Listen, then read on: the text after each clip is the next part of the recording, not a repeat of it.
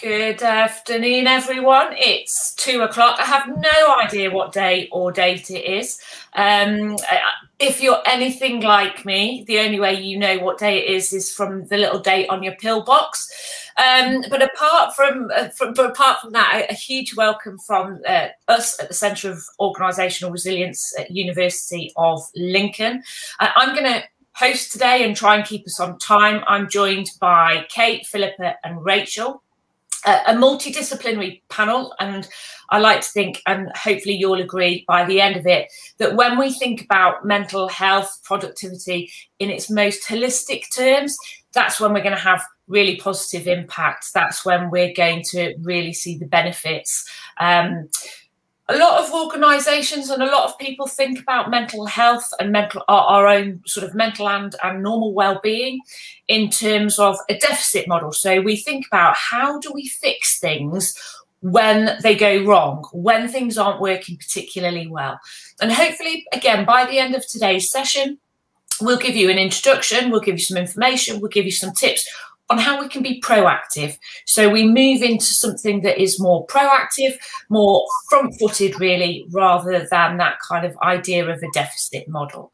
I hope that I won't talk an awful lot. I'm going to leave that to my three colleagues. Um, but what I would challenge each and every one of you um, out there in the big wide world to do is jump on the chat um, mechanisms. Let us know that you're there.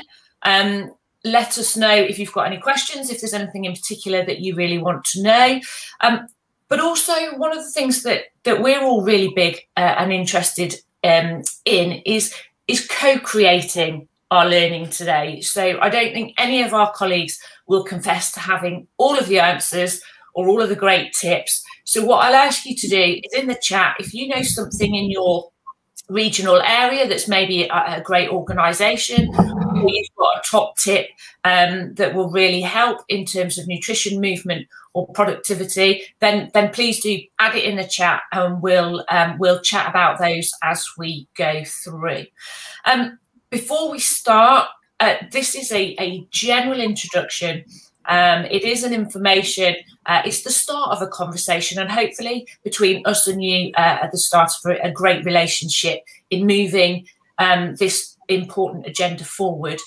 If you or somebody that you know does need urgent help, urgent support, Holly, my colleague, um, who's behind the scenes, keeping us all on track, is going to put some links in the chat uh, forums for you. So if you need that, please do access that. Um, it's really, really important. If you need help and support, then uh, then you reach out and get that. Okay, so I'm going to shut up um, and I'm going to hand over to Kate, Kate from the University of Derby. Kate, I just wonder whether or not you can maybe run us through why now is a great time to invest in people's mental health, maybe. Yeah, yeah. So um, just by way of introduction, Sally, and then I'll dive into the slides just so people can see my face first of all. Um, yeah, so I'm um, Sally's equivalent. We both lead on the mental health and productivity pilot. So I'm from the University of Derby, and my background is sort of 20 years in the mental health field. And I think mental health has always been there. Um, but I think with the pandemic, it has just sort of amplified and pushed mental health up that priority list for employers in particular, because we've all had to adapt to a new way of working, um, and there's there's been additional pressures um, from that. So. My presentation, when I share my slides, just to make everybody aware, there's a short video at the beginning um, just to set some context and actually answer the question that you've just uh, presented to me, Sally, but just in terms of a trigger warning, it does talk about mental health. It does talk about um, suicide, self harm. And going through today, if there are any trigger points, as Sally pointed out, um, to be, there's going to be some links shared in the chat. So please do reach out if you do need any support. So I shall try and share my screen now, Sally, if that's all right. Perfect.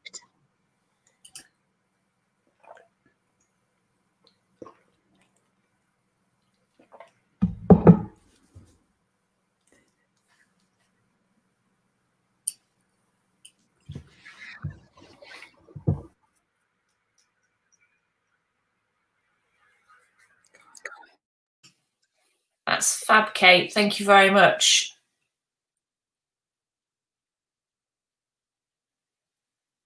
Oh, it's all gone quiet. Are you there, Kate? Somebody was telling me the other day that um, that these sort of Zoom chats and these things now are, are just a, a, modern day seance. You spend most of your time asking if anyone's there, and if they feel like connecting, then uh, then please join in. Kate, are you are you there? While Kate's while Kate's just sort of working out her slides, maybe one of the things that I'd really um, like to challenge everybody then is if we're thinking about impact, if you know you've given up an hour of your really busy lives, um, you want to make a difference, obviously, and so do we. So what I'm going to challenge you towards the end of the session is to think about one thing maybe that you're going to do differently as an individual, as a you know from a personal level, and also one thing that you like to do differently for your work place, whether that's your workplace at home um, or whether or not um, you know that's that's sort of a workplace um, whenever we get back to to whatever new normal is. Are you good to go, Kate? I think as long as you can hear me, Sally, I think I'm good to go. I can hear you. Fabulous. That's always a good start. Okay. So just to provide some context, let's share this video.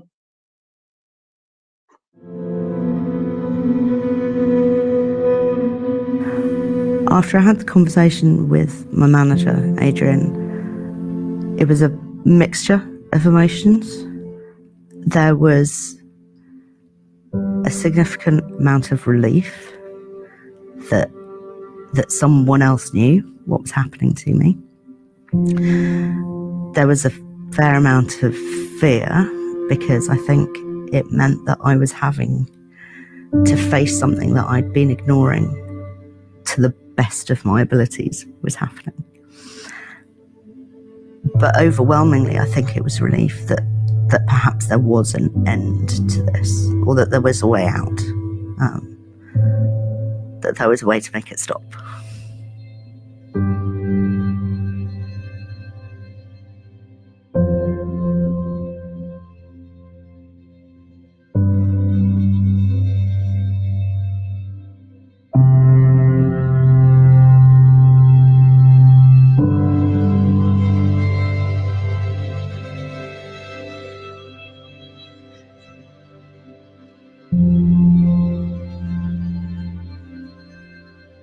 Work through lunches. I'd get home later.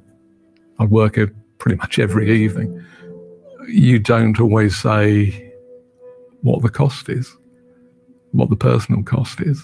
There was this constant sensation of just trying to get by. I was overwhelmed by everything that was going on. I just really was wanting to keep everything under control and fix everything myself. And, and the reality is that I couldn't.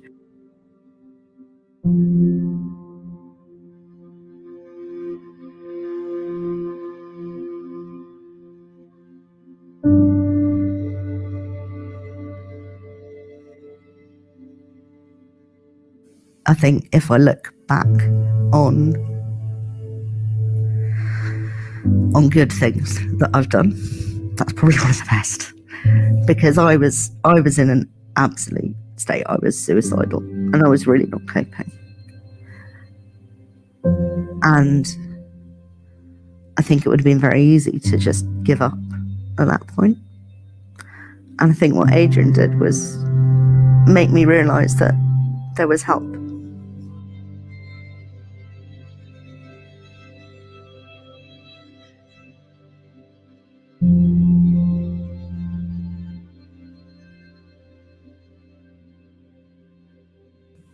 I don't know how, if he realizes how important it was to me and what a difference it made.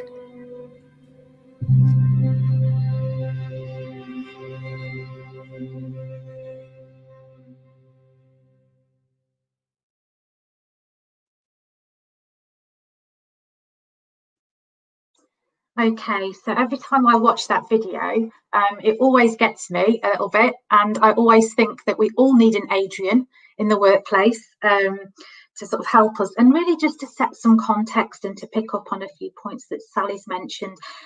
Mental health and well-being, they're getting increasingly recognised as important issues. And a statistic that's often bandied around and, and, and, quoted in a number of places is that one in four adults will experience a mental illness at some point each year in the UK. And I think add that to the COVID um, pandemic as well, and some recent research that was um, carried out by Public Health England as well. 49% of adults have actually said that the pandemic has had a negative impact on their on their mental health. And although the prevalence of mental health is um, is is there, and it's quite it's it's significant. There's not going to be many of us that don't know somebody that's struggled, or indeed we've struggled ourselves. Team that with modern working life, which is always chaotic, um, packed with lots and lots of new pressures, new technology. You would think after a year working on Teams, working from home, that we would have webinars really seamless, but there's always an issue with volume, there's always an issue with something else. And those are just added pressures that we've all had to deal with. And with the pandemic, we've extended our reach. We're not just working nine to five. I think the home working, remote working has really had an impact, and, and those lines have been blurred a little bit between work and home. First and most importantly, help should be made available to individuals of times in times of need. And employers are in the best possible position to act as that preventative um, measure. So, like Sally said, we want to get in before things um, escalate, before issues arise, and indeed before staff have to take any time off sick or have long term absence, etc. So, employers need a happy, healthy workforce to have the, the best productivity possible. And so that's why it makes so much sense for employers to get involved now in mental health and well-being of their workforce. They've really, they're really in a good position to start a conversation with their staff.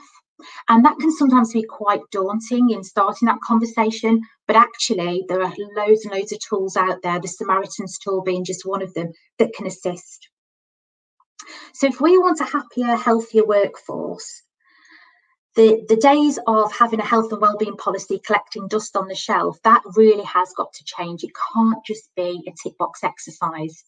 And the mental health and productivity pilot is really designed to do just that. And in the first phase of our research, these were some of the stats that, that came out. We spoke to just under 2,000 employers and as you can see there, only 8.8% of employees would actually confide in their employer. And I think it's really interesting at this point to make that distinction. There's a responsibility on the individual to talk to their line manager because obviously line managers can only deal with what they what they're presented with. But equally, your your employer has a duty of care as well to make sure that the workplace is as happy and as healthy and as supportive as possible. So, the little word called pandemic that back in 2019, when the mental health and productivity pilot first came about, we'd not even heard of COVID 19. And obviously, it's brought a huge amount of additional pressures to us as a workforce. And it's really put, elevated mental health up that priority list. So, as I mentioned previously, 49% of adults have actually said that they've that the pandemic has impacted negatively on their mental health. And that is from a range of sort of feeling anxious, feeling quite isolated, stress, depression, sleep issues, homeschooling. That, that was a mammoth task in the early days, I'm sure, as well for many. And so what we need to do is move away from businesses sort of diminishing mental health and um, I guess having that tick box culture. So businesses that feel that they've got a health and wellbeing policy in place and that's sufficient, we really need to change that way of thinking and, and, and change that culture and make a positive difference to encourage employers to really open and create that open and transparent, supportive culture that really encourages people to talk about their mental health So the mental health and productivity pilot is funded by the Midlands Engine, and it is indeed the pilot that myself and Sally are, are, part, are partners of. We're part of the consortium. We've also got the mental health charity Mind, West Midlands Combined Authority, and it's Coventry University that's leading on the pilot. And what this aims to do is to deliver a step change in each of the nine LEP areas. So, for example, I'm looking after the D2N2 region, the Stoke and Staffordshire, and the Marches, so Herefordshire, Shropshire, Telford, and Wrekin. And the aims of the pilot are to reduce absence and presenteeism, therefore leading to higher levels of productivity. And what we really want to do is help to reduce that stigma to ensure that, that staff feel supported and able to open up about any mental health issues that they might be struggling with, and indeed that managers and workplaces feel confident in starting those conversations with staff, but also providing that consistent support. And as Sally uh, mentioned right at the beginning, it's that preventative route. So what the what the pilot is actually doing is working with businesses and there are a couple of couple of routes that businesses can can go down really. They can either do a thrive at work accreditation program or they can do make the mental health at work commitment. And we support them in rolling out mental health initiatives such as every mind matters this is me. And in fact that video you saw right at the beginning is part of that this is me toolkit. And all of the pilot is underpinned by the mental health at work core standards and regardless of which route you as a business take, whether that's the accreditation programme or indeed whether it is just making the commitment and rolling out some initiatives across your workforce, these core standards are really poignant and they underpin everything that you do. So it's about prioritising mental health in the workplace. It's about developing awareness amongst your staff. It's about promoting an open culture and really setting that culture from the top down. A number of businesses I've been working with have really been quite creative and innovative in doing this. And senior managers have actually disclosed their own struggles with mental health, which has really assisted in opening up those conversations at work and actually other staff that perhaps were quite um, reserved or indeed worried about disclosing any mental health issues, it's actually really helped them. And we're really trying to increase the confidence of an organisation and the confidence of managers in opening up those conversations and then supporting their staff. And what, how we're doing that is through a range of mental health support tools, resources, sector specific toolkits. So, for the education sector, frontline workers, the construction industry, there's a whole host of resources available the benefits, and I don't usually like to talk about money and mental health. I don't like to combine the two. However, businesses will be saying, but by doing all this preventive stuff, what are we going to be getting from this? It's actually a return of £5 for every pound spent on mental health. I think we need um, an alternative there for the time spent because the mental health and productivity pilot is completely free to take part in as an organisation. Um, so prevention rather than reactive, that is the key. And actually, the biggest return on investment has come from raising awareness of mental health in the workplace, providing the relevant training, and really investing in that culture shift, um, or indeed enhancing what organisations have already got. What's also important as well is if obviously we can't avoid all of the issues that people face, um, we can't solve all the problems, and this is by no means asking employers to become counsellors or to solve everybody's problems. What it is asking is though to be empathic, um, be supportive, be consistent in the support that you offer. And if people do need to take time off from the workplace, to have a really effective and supportive back to work plan in place and I think that's very easy when it comes to physical health problems. But when it comes to mental health, that can sometimes be a little bit of a grey area. And we sometimes struggle or feel, I guess, not so much confidence in, in our ability to pull a plan together in terms of how to support somebody with mental health issues coming back to the workplace. And so the mental health and productivity pilot can support every step of the way. So either before we have any issues, during, and then after as well. These are the contact details of all of the universities in your area that are leading on the mental health and productivity pilot. I've put the relevant areas on there. Um, I've also put Sally's details on there as well, being in charge of Lincoln, Leicestershire and Rutland. And Sally, I think we're taking questions at the end, but I'm more than happy for anybody who's got any questions to sort of to shout out now. Brilliant. Thanks, Kate. Yeah, please do put your um, questions in the chat if you have any sort of, as I say, top tips, things that you really love.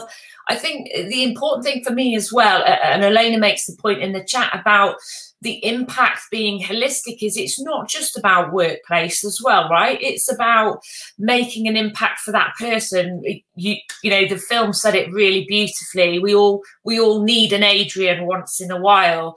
But also it's not just about the positive impacts in the workspace. It's their family it's the friends it's those kind of ripple effects that actually make not just ourselves as individual or, or workspaces better, but actually society as a whole.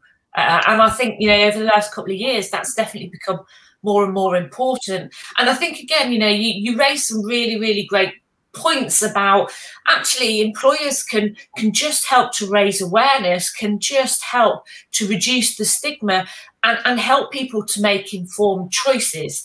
Now one of the areas that i really really struggle with and i'm hoping rachel's going to help out here it is on the old diet nutrition. I don't know I don't know what's what. I don't know what I can eat, what I can't eat anymore, Rachel. I'm sticking to the fact that I read an article once that said red wine was good for your brain.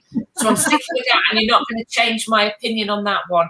But, but Rachel, I'm just wondering, can you can you kind of give us some information about how nutrition can help holistically, uh, and especially with with sort of mental well-being? Yeah, basically, I think for me, um, nutrition is it's how you fuel your body, and ultimately, whatever fuel you put in is the good fuel you put in is the good you get out. So, so everything that happens in your life is impacted on what you eat, be it how you think, how you move, how you feel, will all be dictated to about what you've eaten, because ultimately that's your fuel. It's a bit like you wouldn't think to power a Formula One car with chip fat, for example, because you want that dynamic fuel. So it is kind of the same analogy with humans. If you know, if you want good energy and good productivity and good mental health, you ultimately have to fuel your body to support the body to do that for you. So if that clears it up a little bit. Yeah, no, no, that that's fab. Thank you very much. And again, sometimes I kind of think, you know, I've I've done that eating too much and feeling like oh I can't move. There's nothing else I can kind of do. So it's knowing those those links. Rachel, are you happy to kind of go through um, you know some other information that people might find useful? Yeah, totally happy to do that. Thank you for bringing my slides up. Thank you, Holly. So yeah, so basically, um, who am I? So why am I here talking to you today? So I'm Rachel Linstead. I run a company called Firecracker, and my philosophy is around sparking energy in business, um, with a focus around food and nutrition. But I also have a master's in workplace health and well-being. I qualified a personal trainer over 15 years ago, and my background is in food and drink. So I'm in everything about food and drink and nutrition is what I'm all about. And my view is if you've got healthy employees, you have happy employees, and if they're happy, they're more productive. And the best way to start that is by putting the right fuel in.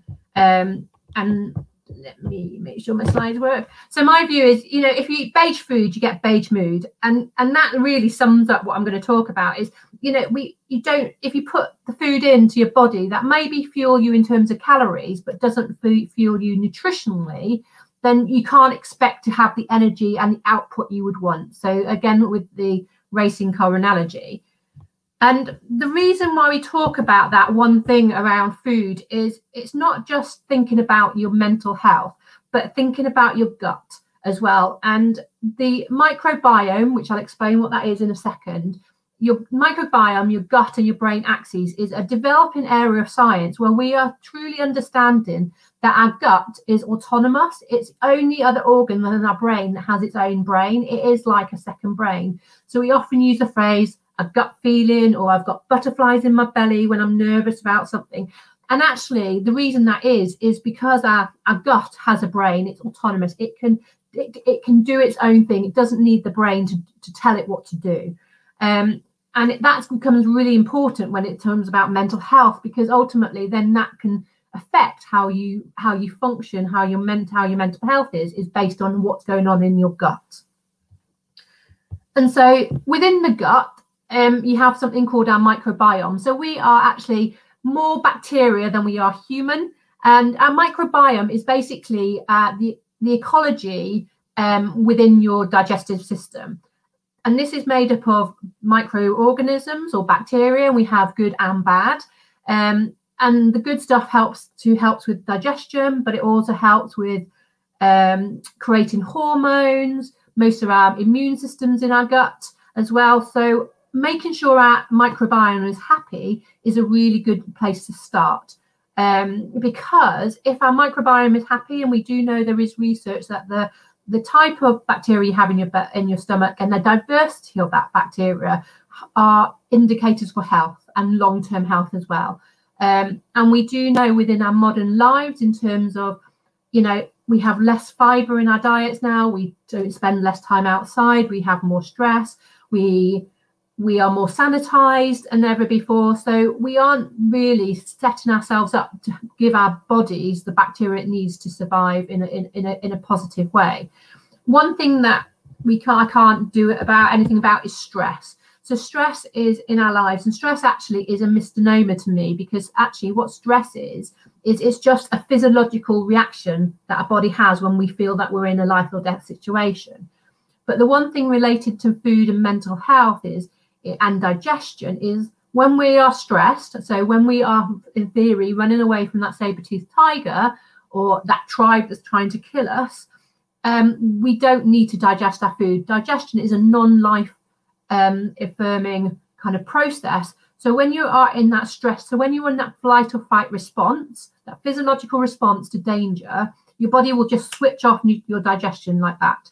So if you the one tip i can give you around stress is if you're having a stressful day um, i would suggest when you eat your dinner try and eat in a non-stressed environment. Give yourself at least 20 minutes to eat sitting down as well because when we're stood up we're ready for action and our body's then going well you're ready for action so you don't need to be digesting your dinner again. So sitting down in a non-stressed environment and eat your food and that will give your body the opportunity to digest that food and absorb the nutrients from it um, so I can't take away stress, um, but I can suggest having that 20 minute lunch break away from your screen so you can focus on the food you're eating and allow the body to benefit from the nutrients it gets, which ultimately will then help you to, to have better mental health.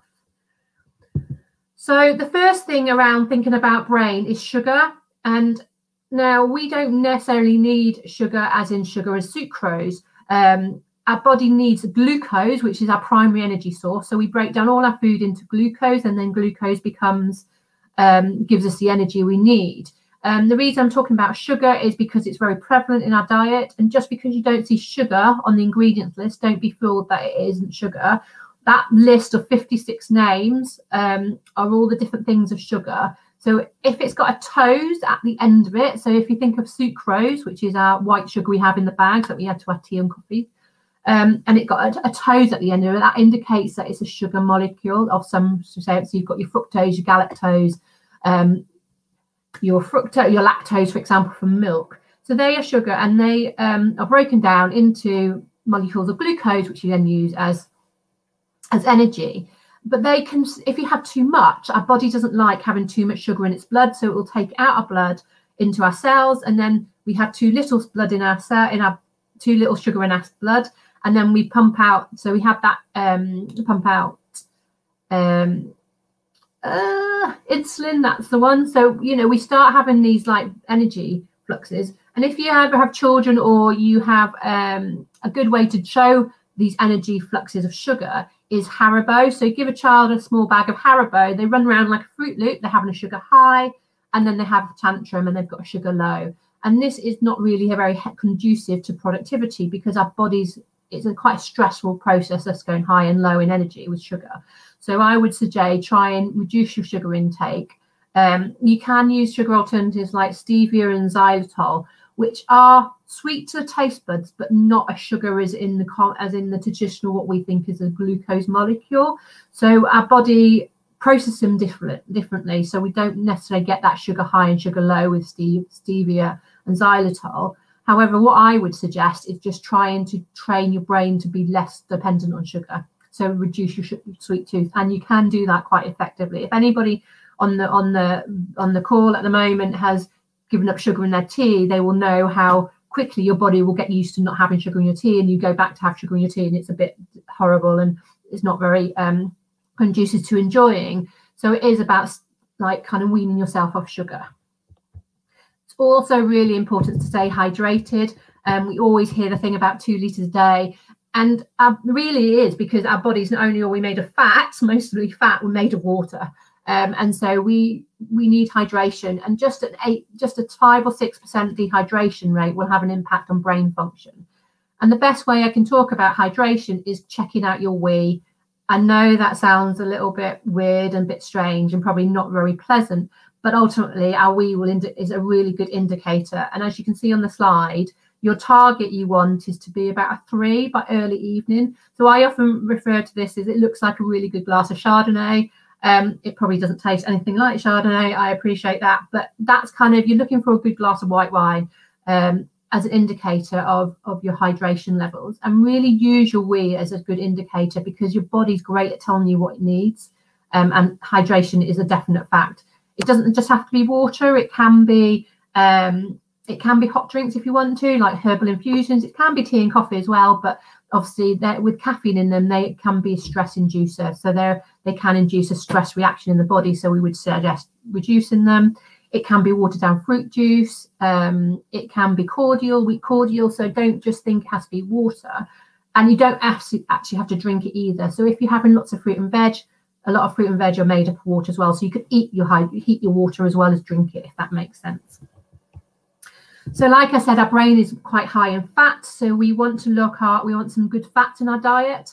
So the major fats we tend to have is our saturated fat, mainly from animal source, but also remember coconut and palm are also saturated fats. And then, and these are the ones that you, you want a little bit in our diet, but not too much.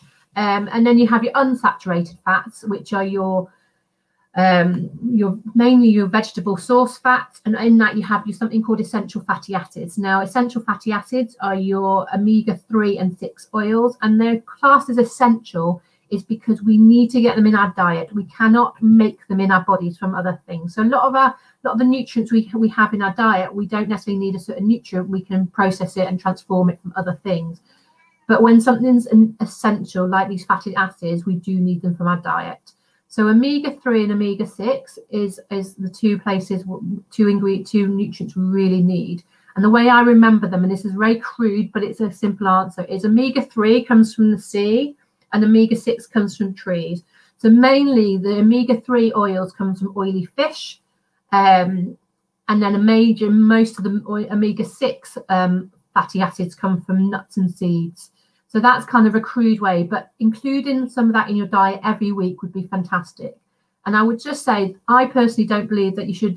There's no good or bad foods. All foods, all foods are good and bad. It all depends on how much you eat and how often you eat them. But the one thing I would say is try and avoid trans fats. Now, trans fats are hydrogenated fat, which is a process that we've developed within the food sector to turn a vegetable fat to have the properties of a saturated fat um, so that we can make nice food basically.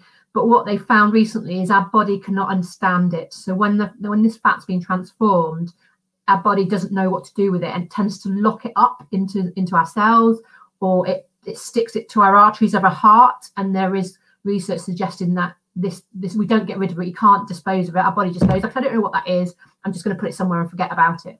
So if you can avoid hydrogenated fat then that's a great one most of the UK supermarkets have removed most of it from their food products. So, so it's not very readily available now, but it's just being mindful.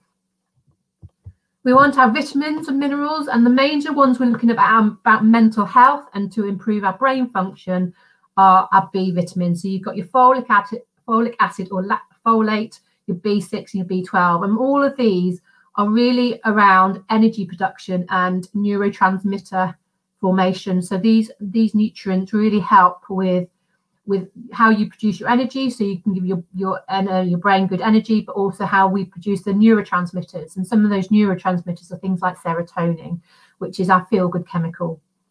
So these these vitamins and where we get these vitamins from is mainly the husk of the grain.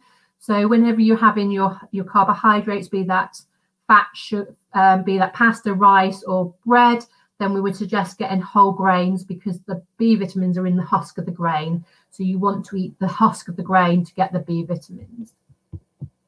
And then some of the antioxidants, some of the nutrients that are other nutrients are your antioxidants, your minerals, and your fibers. So in terms of things like zinc, chromium, selenium, magnesium, calcium are all featured in, in terms of, again, energy production, brainwave function, neurotransmitters, um, and antioxidants. Now, antioxidants are when we have chemical reactions in our bodies, often we have something called free radicals. Now, free radicals called damage. So a bit like when a piece of when a bit, if you think of when you have a piece of metal and it gets wet, it goes rusty. Well, that's what happens when we have chemical reactions in our bodies, and that's happening all the time. And free radicals are produced, which cause damage to our cells. And so what we can do is eat things that are called antioxidants. And so they stop the, the oxidative damage that these free radicals do. Most antioxidants come from fruit and veg.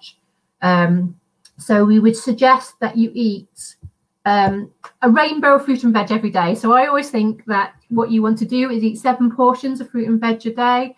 A portion is 80 grams and try and eat all the different colors of the rainbow. Um, and the, the pot the pot of gold at the end of that rainbow is good health. Um, and also those fruit and vegetables give you loads of antioxidants but they also give you fiber and the reason fiber is so important to our diet so not only does it help with things like um, digestive health but with fiber you have two you have soluble and insoluble fiber now soluble fiber helps do things like boost i won't go too much into into bowel movements but it boosts the stools it helps us pass our stools easier. The insoluble fiber uh, basically feeds our good bacteria. So we help if we eat in fiber and insoluble fiber specifically um, found in things like artichokes and onions and chicory for example they all help feed our good bacteria. So that's always a benefit to having fiber in your diet. And here in the uk most adults don't eat enough fiber. Um, so if you can get fiber in, so that's again eating like the you know eating skins of, of vegetables. So only literally not peeling vegetables when you're having them literally either have them with skins on or give them just a real kind of i usually just use a scouring pad. So i just take off the top layer but i'm leaving most of the fiber within the skin. And then protein. So protein um, helps with in terms of again looking things like serotonin. So we make serotonin from something called tryptophan. So tryptophan is naturally found in Turkey. So we have tryptophan, which we then convert into serotonin. So we do need our protein in our diet. That can be both plant or animal source. Um, but when it comes to so plant source, really obvious, you know, from plants, but from animal source, don't forget about fish. Don't forget about shellfish. Don't forget about game either. You know, these feed these plant-based, these animal-based proteins are fantastic sources um, good quality, locally sourced, um, and will help you help your brain function as well because we're giving it some nutrients and chemicals it needs to, to function well. And I think that's me. So I do have any. If we have any questions, then shout in the in the in the chat box, or I will hand you back to Sally. Rachel, we are going to get a move on. Uh, do you see what I did there? Um, so I, I, think something that's really been quite interesting for me is that you know you always have this thing in your head of you are what you eat, but actually you are what your body absorbs, right? So you can eat all sorts of things, but if your body's not absorbing it, um, then then you know that, that there's something completely different. We are going to move on. That's my second and only dad joke of the section to Phillipa, who's going to take us through movement and, and how movement can can have a positive impact on our on our well-being.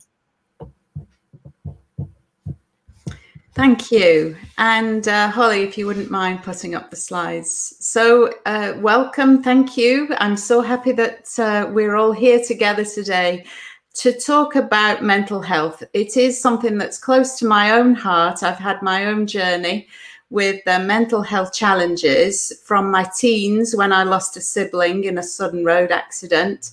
In my 30s, I nursed my firstborn child through a trip uh, with cancer. And, uh, and in my 40s, I encountered the menopause. Now, there's a whole other story attached to that. So I am a chartered physiotherapist and, um, and I'm the director of Precizion Limited. That is my online wellness platform. And so uh, I've got quite a lot of material that I'm going to uh, to skip over briefly because it's been covered perhaps already in, to some degree. Uh, and so the challenges for employers dealing around mental health issues, 51% uh, of all work-related ill health uh, working days lost is due to mental health challenges. And so this is a huge this is a huge challenge for uh, for us and and so just to really point out that we're all somewhere on this mental health continuum uh, somewhere between health at one end and illness at the other and i know that i fluctuate I'm, I'm rarely in one spot every day but uh, we might be feeling sad or down um, have fears and worries. And, and that was definitely something that I encountered around the time of menopause. Unexplained anxiety was something that took the rug out from under me. And uh, and mood changes, highs and lows, uh, uh you know, and this isn't necessarily conducive to uh, to being productive in the workplace. And so, speaking to that menopause uh, piece, interestingly, this is a you know a biological cause of mood disturbance due to the fluctuating levels of estrogen in the blood. And, uh, and common challenges that we face are around depression, anxiety, uh, loss of confidence, and sleep. And anybody who's spent a sleepless night knows it doesn't take many of those for you to start to feel a little under par. And so, uh, mental well being, what's it all about? Uh, what do we need to do in order to, to have this holistic picture of a, a healthy person? And top of the list, uh, top of my list anyway, is let's be active. Um, and it's, and I'll come to that in due course, but be mindful. Uh, is, is the other thing. And that has its origins in Buddhism. And uh, and so I'm, a certified yoga teacher and and mindfulness practices are really embedded within that practice. Um, uh, non-judgmental attitudes and and really cultivating awareness um, and so connecting uh, i heard something this week friend power is more important than willpower. And i thought that was that was fantastically true. Um, and so remembering to to be generous and uh, and appreciative, and you know keep learning, learn something new if uh, if you can. Learn a language, uh, learn a musical instrument, and these are all really going to stimulate the brain to uh, to grow and develop. Now, moving for mental health. Why? Why should we be moving for our mental health? Uh, and the answers come down to really the effects of movement on the brain.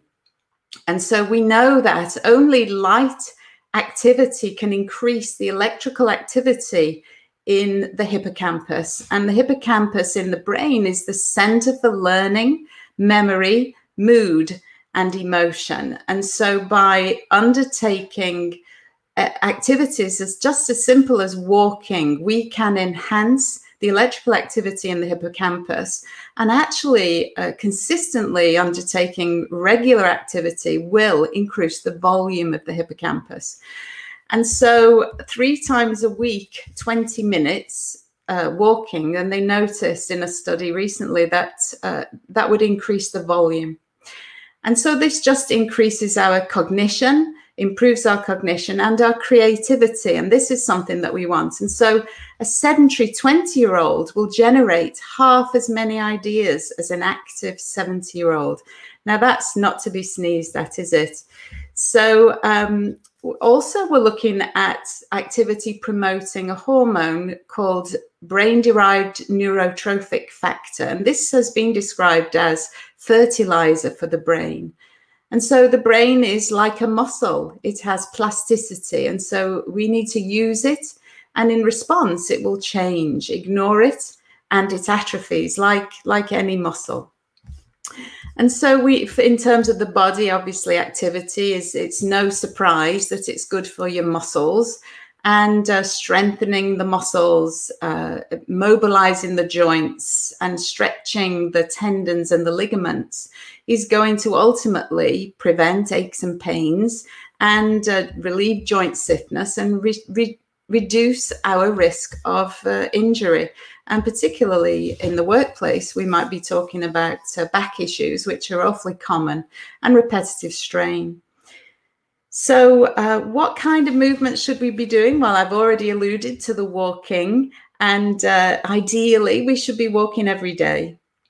Uh, we should be moving to feel alive. And uh, in this fabulous sunshine we've got today here in Lincolnshire, anyway, uh, I went out for a walk earlier, and absolutely, you, on the return, you're, you're much more productive. And actually, you're much more productive for about two hours afterwards. Um, and it doesn't have to be for very long, even just 15 minutes at lunchtime, get out into the air. Um, you know, maybe you're not commuting anymore, but you could walk to work or pretend to walk to work like I do and, uh, and get the benefits of the feel good chemicals uh, circulating through the brain. And resistance training actually has really significant effects on the brain the feel good chemicals, the endogenous cannabinoids and the endogenous opioids are released when we do strength training. And also, uh, increasing our physical capacity decreases our risk of injury, as, uh, as I mentioned earlier. So, uh, you know, what can we do if we're spending all day sat at a desk? Uh, get up, take regular breaks, uh, circle your arms around, do some squats and tiptoe raises, and stand periodically uh, if you can, uh, you know, adopt a standing desk. And and on your way to the kettle, grab a hold of the top of the door frame and stretch out your shoulders. If you have a physically demanding job, then uh, we're talking about repetitive tasks, handling loads, and repeated or sustained bending. And so the antidote to these kinds of uh, roles is to maintain the mobility of the joints the strength in the muscles and do restorative type movement practices such as yoga, which also incorporate relaxation and uh, and have a good strong core so that we can protect the spine. Uh, and as I mentioned, there is a place for relaxation and deep breathing techniques, and even just six deep breaths can trigger changes in the sympathetic nervous system, and that is your fight or flight mechanism. So, uh, so in a brief moment, six deep breaths. I'm sure we've all got time for that. So, when when's a good time to get moving? I hear you ask. Well, early in the morning, exposing yourself to sunlight actually aids restful sleep. And so, good sleep is going to uh, is going to improve our capacity to deal with stresses and strains in our lives. And uh, and actually, the daylight that you'll get outside is never is always going to be better than that you would get from a light bulb. So even if all you do is stand outside the door with your morning coffee uh, then then that is going to improve your ability to sleep. Uh, embed movement in your day. So regular inputs uh, little and often is is the way that i would talk about it. So that you have an opportunity to vary your position and the tasks that you're doing if possible. Uh, and, and then monitor movement with an activity tracker. Uh, and think about being somebody who relaxes actively. So, um, how? How do we do this? How do we go about getting uh, more movement into our lives, into our day, into our work? Uh, and I came across recently an interesting article in the BMJ about something called the Goldilocks principle. And we will share this in the chat for anyone who's interested. But uh, that, you know, if at all possible, we want to get in at the design stage. And that is to design work that has just the right amount of sitting. And that's where Goldilocks comes in because if you remember, the porridge was too hot, no, too cold, no. And then it was just right. So we're looking for porridge that's just right, just the right amount of sitting, standing, and moving, arranged in a suitable uh, pattern. And so physically active workers oftentimes have poorer health, not better than sedentary workers. And obviously, there are socioeconomic health inequalities that play into that. Um, and actually, it's possible that the Goldilocks principle could also be applied to the mental demands at work and have a positive impact on mental as well as physical health. And so, coming to bite size opportunities, what, what, we do know from motivation theory is that small, uh, we're much more likely to do something if it's packaged in a small package. And so, habits will uh, be much more easily embedded into our lives if we start small. Five minutes. Think of uh, when you push the button on the kettle to boil, have a dumbbell handy to lift in the kitchen. And something as simple as that can set us on a journey to health and well-being. And, and yes, have one in your workplace too, or just do a few squats. Household chores, nobody's particularly thrilled by household chores, but it is an opportunity to get physical and get active. Um, and so if you think every time you sit down on a chair, do 10 squats before you actually come to rest. And maybe balancing on one leg uh, while you're on the telephone, something to just embed and incorporate movement into your day.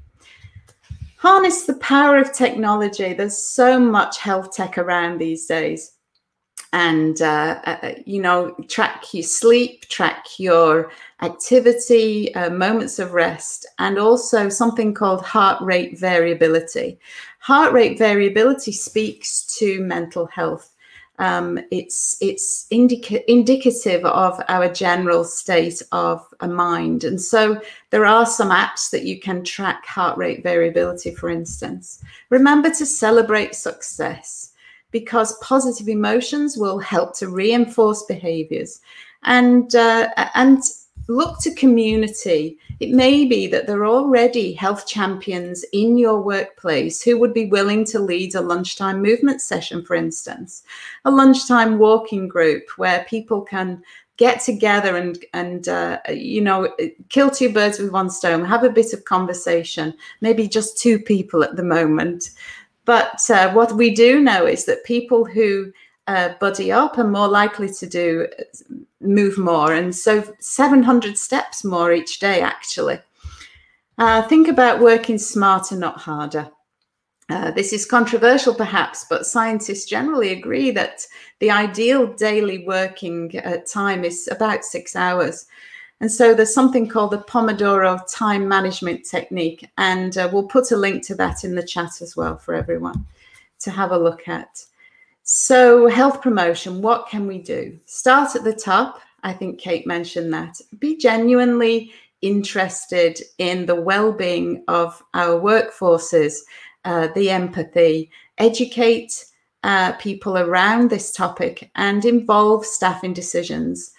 Uh, support healthy lifestyle choices, and I'm, I'm talking maybe about vending machines and such like, and uh, harness the power of technology. And ultimately, we need to offer a variety of opportunities. So, um, here with me at uh, Precizion, I'm a virtual business and uh, we have a lot of virtual opportunities that we I'm very happy to offer out to people. Um, and so, if there's anything you would like to know from me, uh, please let us know in the chat. And thank you so much for your time today. And uh, and so taking us back to the group, thank you, Holly. Thanks, Phillipa. I um, it always uh, sort of never ceases to amaze me. I, and you, you called it friend power. That sort of joint accountability, right? Mm. So I am more likely to go to the gym or go out for a walk if I've promised a friend that I'm going to go with them because I don't want to let them down rather than maybe not wanting, you know, or not being quite so bothered to let myself down.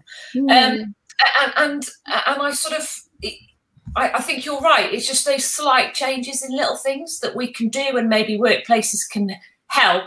Um, because it's that kind of it's a small change, but it's making a change. You know, we could all buy, you know, a stand-up desk, but if it's just going to turn into another piece of furniture that that I put my cardigan on, um, you know, like the exercise bike, then um, then it isn't going to have made an awful lot of difference, right? Mm, right.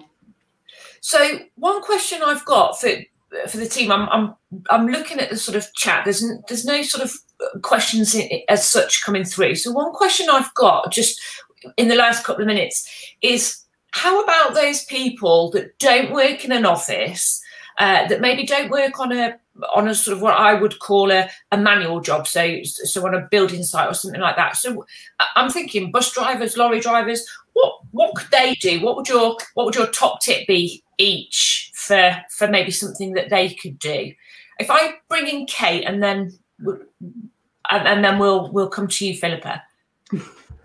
So yeah, it's those more remote workers, isn't it, Sally, that seem to have um, issues. And, and, as part of MHPP, that's been a, quite a few businesses have signed up where those workers, the communication's difficult, and so there's a really lot. There's a lot of online tools. So Every Mind Matters is a good tool to go onto, and it's not for when you're struggling it's for it's like prevention again like we've, we've raised sally. So every mind matters is a really good tool.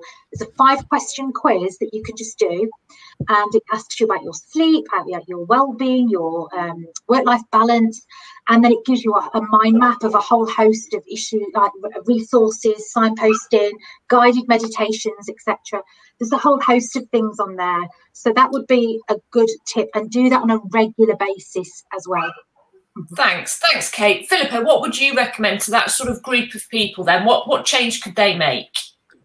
Well, I mean, if you're talking about bus drivers, I, I have a bus stop quite near where I live, and uh, the bus quite often stops there while they have their break.